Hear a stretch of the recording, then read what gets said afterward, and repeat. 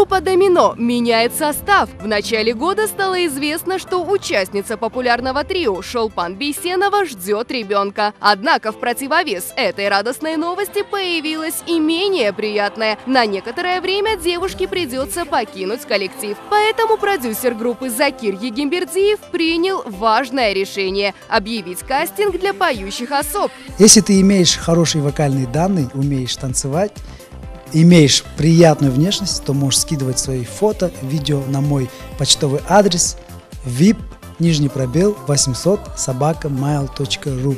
Жду. В течение двух недель Закир будет просматривать заявки желающих. К слову, исполнитель отмечает, что даже при сногсшибательном вокале участница может получить отказ, если не будет соответствовать самому главному критерию. Самое главное для меня это прилично.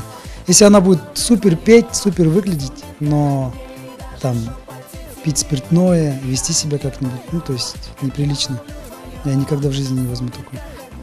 Потому что у группы Домино есть имя, Шелпана, тем более у нас такая, она пример для всех девушек, а, и мне по любой нужна такая же.